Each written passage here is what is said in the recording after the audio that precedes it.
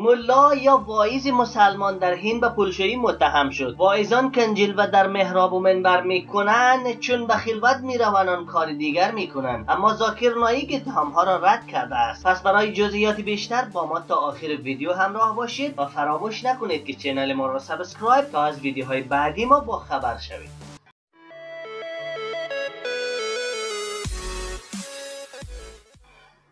مقام های قضایی در هین یک واعظ مسلمان به نام زاکر را به پولشویی متهم کردند زاکر که خارج از هند زندگی می کند پنج شنبه به طور رسمی به کسب مجرمانه 28 میلیون دلار پول نقد متهم شد. او همچنین به نفرت پراگنی و ترویج تروریسم متهم شده است. بر اساس کیفر خاص اداره مبارزه با جرایم مالی در هند سخنرانی های آتشین آقای زاکر ایده از جوانان مسلمان را در هند به اقدام های خلاف قانون و تروریسم سوق داده است. بر این اساس او از منابع مالی نامشخص و مشکوک برای های خود در هند و خرید ملک برای انجام هایش استفاده کرده است. آقای نایک که 53 سال سن دارد در یک شبکه ماهواره‌ای به نام شبکه صلح که به خود او تعلق دارد به تبلیغ نوعی از اسلام افراطی مشغول است. این شبکه تلویزیونی که در دبی مستقر است در هند اجازه فعالیت ندارد ولی در سراسر دنیا حدود 200 میلیون بیننده دارد. بسیاری از هواداران القاعده در جنوب آسیا گفتند که از او الهام گرفتند فعالیت های زاکر نایک زمانی مورد توجه قرار گرفت. که یکی از مهاجمان به یک کافه در داکا در بنگلادش به پیروی از نظریات او اعتراف کرد. در این حمله ای که سه سال پیش رخ داد 22 نفر جانشان را از دست دادند. پس از این حمله پلیس ضد تروریسم هند آقای زاکر را به نفرت پراگنی دینی متهم کرد. و او پس از آن